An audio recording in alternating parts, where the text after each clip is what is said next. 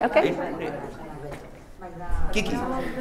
I'm very impressed, Miryam, with what you did. Can you just tell me how you capture the ideas here?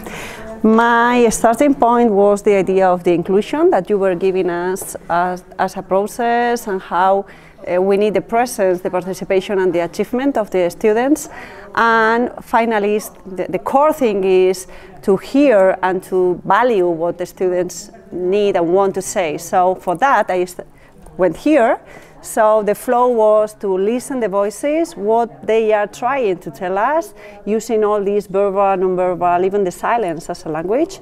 And from here, what we want to do is to create and generate and facilitate these dialogues between students and professors. So you gave us this bunch of uh, methodologies, and, and you were very clear on this. This is the starting point to create and to, to facilitate this dialogue. So we want to open uh, our way to look at the reality and to find common ways to create this inclusive education.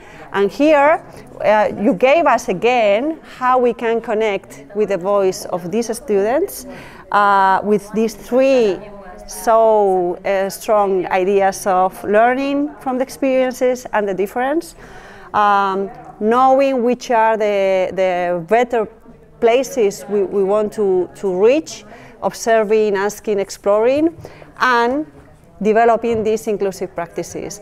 And this connecting of the voice of the students also were like, this, this connection was so clear about connecting schools. So it, it, it appeals also to these conferences here. So that was the way I, I tried to capture what you were saying.